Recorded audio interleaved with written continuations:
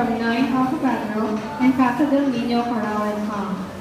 This is a peacock-inspired attire designed by Zia herself. She used recycled and all-natural materials.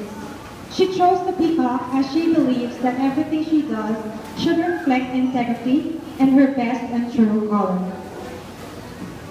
In keeping with this year's theme, which is solid mensuration, Zia drew inspiration from the peacock's colors, highlighting her pantsuit royal blue cardboard pyramids to line her neck area. The rest of her attire is made to resemble the peacock's tail, using cones to imitate the bird's majestic tail feathers to line her attire's train.